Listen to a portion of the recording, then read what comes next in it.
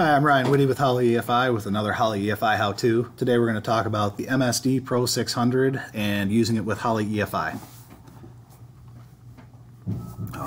The Pro 600 is, you've probably seen it around at this point, it's our new CDI ignition from MSD. Uh, it's got massive spark output, 680 millijoules. You know, people like Stevie Fast have been using it and winning races. Uh, there's other testimonials by him, but that's a little beyond what we want to talk about today. Today I just want to show you how to use it with Holley EFI and some of the advantages of using it with our EFI versus the other EFI systems out on the market, uh, which the Pro 600 is compatible with pretty much every ECU on the market as long as it has eight ignition outputs. Know, anything that can do coil near plug can do can use the CDI. One of the first things with Holley EFI is the output setup. We have a drop down for it under our output setup. Back up actually. Under our ignition type, if you go to custom and set up your cam and crank sensor, you also have a drop down for the MSD Pro 600-8. And then what happens is it automatically sets up a table for you where you can edit the axis as RPM and map are the default. And when you go to edit it, it's over here, it says ignition power and this is just a percent of total power that it can output. Uh, we limit you to, I believe it's 30, yep, 30 on the low side, and you go up to 105% on the high side. So 100% relates to 600 millijoules of power. Uh, we allow you to go a little over that because it's, it's 100% is 600 millijoules, and you can go all day on that. We can run continuous duty. We've tested it thoroughly. It'll run 600 millijoules all day long and never have an issue we, as development went on, were able to get the output up to 680 millijoules and haven't had any issues there, but we haven't done the long-term durability testing on it yet to say that it's good for continuous use. So that's why we call 100% 600 millijoules. We let you go up to 105 in the software here, so you can get some of that extra. I think that relates to roughly 630 millijoules. And this is just so you can have your power table. So, you know, a lot of people will probably do something. The scaling on this thing is junk. Hold on.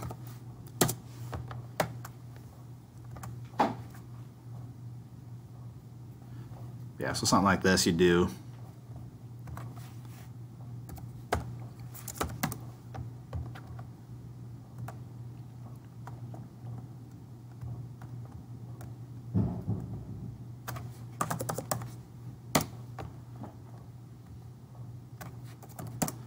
something like this, just low RPM burnout idle stuff. You keep it down just because you don't want to kill the battery because it pulls some power. And then you just immediately go to full power anytime you're in boost or going down the racetrack. Uh, so we said it can go to 680 millijoules, but we kind of limit you a little bit here in this table. What we allow you to do is go to your advanced tables,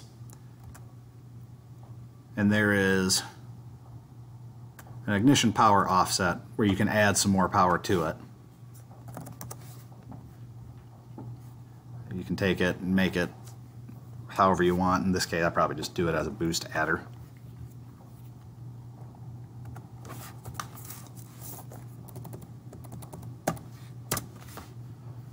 So you have your ignition power offset.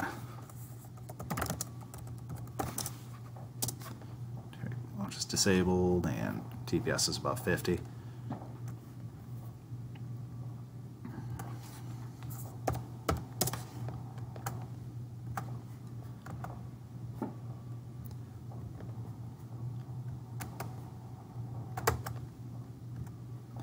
And do something like that if you wanted to.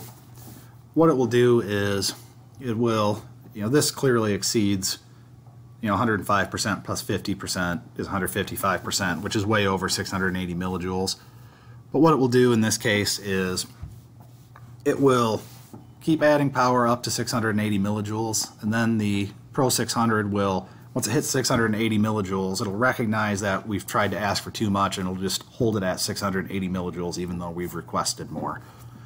So if you want to do the math, you can figure out the exact percentage. If not, ramp it in so that it comes up and hits 680 and goes past it and it'll be fine. The other big thing we have is the diagnostics. which we have is an IO ICF that you can add in. Which it's not going to let me on this one.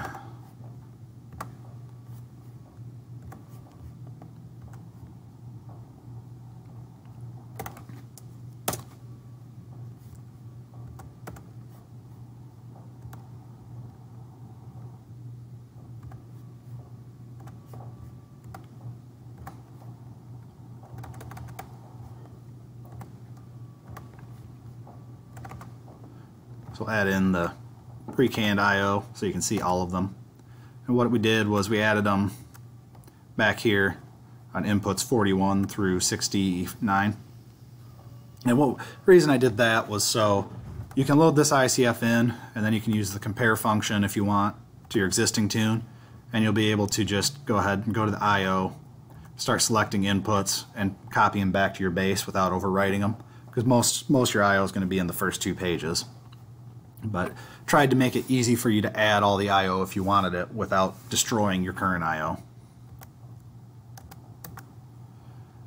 As you can see we have a bunch of channels. I don't think you need to add all of these necessarily uh, unless you have the room and you want to. You know, I know some of some of the racers I work with use a ton of their inputs and this will, will push them over the edge. So what I tell people they should be running know, MSD, the internal temp of the board, I don't worry about that unless we're chasing a problem. I'd add it if there's a problem. Battery voltage, same thing. It had better match what the ECU is saying. If it doesn't, you have a problem.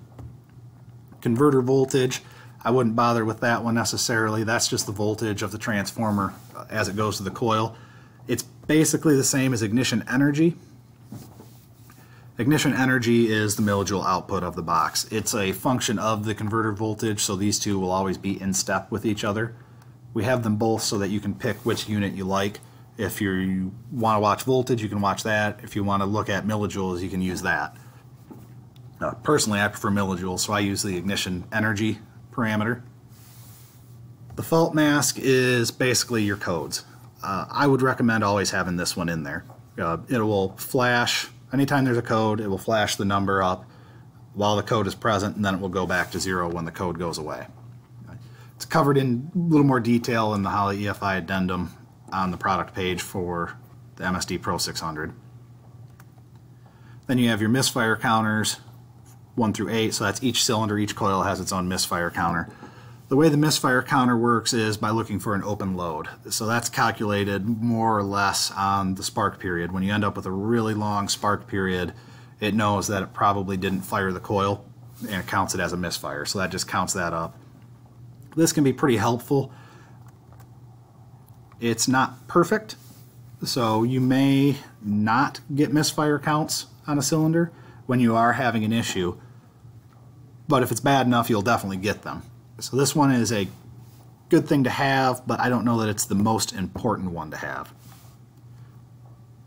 The spark period is, it is not spark duration at the gap. It is, because this is an AC current profile, meaning it's AC voltage going back and forth on the coil, you have each oscillation of the voltage, and that's what this is. Uh, if I remember correctly, the engineers at MSD told me spark duration is roughly two or three times what the spark period is, but they are not the same thing.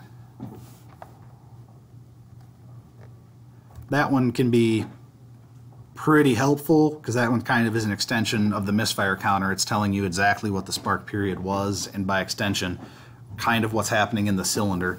You know, as the, the period gets longer, you're taxing the coil harder. If it gets shorter, you're taxing the coil less or the cylinder less, the spark plug less. And uh, this efficiency is another thing similar to the spark period. The efficiency is how much of that spark period was translated to power at the coil, or at the spark plug, excuse me. So as efficiency goes up, more of that was transferred to the coil than was sent back to the transformer to be used again for the next oscillation. So between spark period and efficiency, I think those are more important than the misfire counter, not to downplay the misfire counter. But if I were short on I.O. and had to pick one of these three parameters, I would probably go with the spark period or the efficiency and just build up over good laps what they look like for you. And then when there's an issue, you'll definitely see in one of the channels, you'll have an outlier where it's either higher or lower than the rest. And you can start chasing that cylinder for problems.